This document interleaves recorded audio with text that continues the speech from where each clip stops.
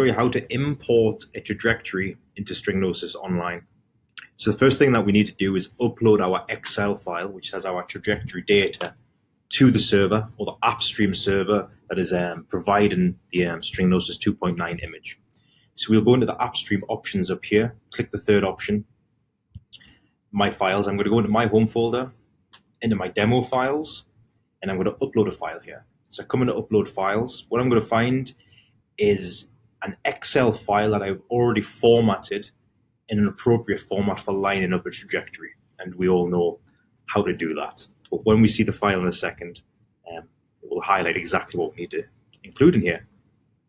So now that I've uploaded the file to the server, I can import it into Stringnosis like we normally would do on the Stringnosis desktop version. So I come across import from Excel, and we're going for a trajectory this time. So I'll import the trajectory. I'm going to go to my demo files, and my hpht demo.xlsx file is there. I'm going to click open, and then Stringnosis is going to open that file within itself without the need for an Excel or an Excel license. The first row where we start the data is going to be row two from this data here. What I did was I just lined up on the worksheet only MD, inclination, and azimuth because that's all that we need to calculate the trajectory. Then I'm going to match up these columns with the data here. So MD is in feet, so I'm going to keep it in feet, and that's going to be column A. Inclination is column B. Azimuth is column C. And you see that we've color-coded things. And then I click OK.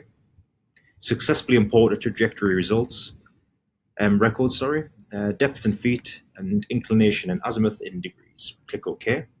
And there we see that it's um, imported the data that we needed.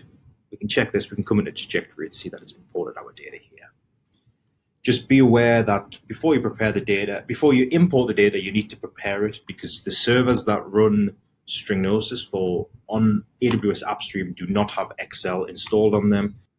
A word of note that on the import um, tab, what we can do is import pore pressure, fracture gradient, undisturbed temperature, trajectory, or lithology.